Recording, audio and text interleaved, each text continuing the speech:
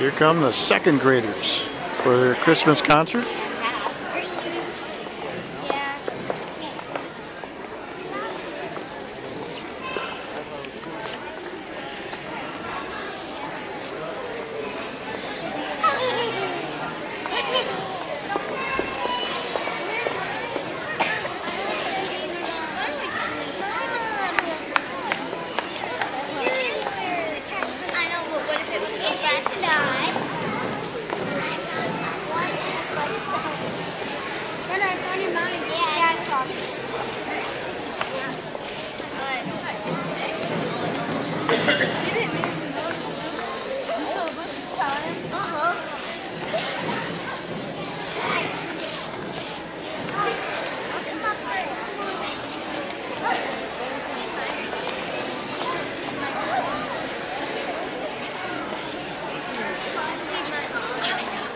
Our program today.